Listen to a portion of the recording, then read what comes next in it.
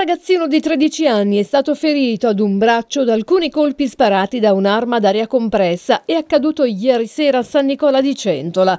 Il malcapitato è stato immediatamente trasferito dagli uomini del 118 all'ospedale San Luca di Vallo. Le sue condizioni, per fortuna, non sono gravi. I militari della stazione di Centola hanno immediatamente avviato le indagini. Stando alle prime ricostruzioni, tre ragazzini stavano giocando in via nazionale, sparando piccoli artifici natalizi servizi quando qualcuno, forse infastidito dal rumore, ha fatto partire un colpo che ha ferito il tredicenne. I pallini sarebbero partiti da una pistola d'aria compressa.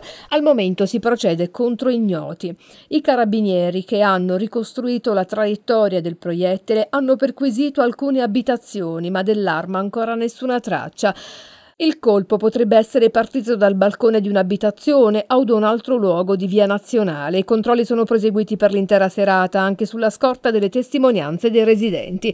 Il ferito intanto resta in ospedale per accertamenti di rito. Bisognerà verificare le lesioni provocate dal proiettile e se queste possono aver provocato danni fisici ben più gravi. I militari hanno inviato una prima informativa alla Procura della Repubblica.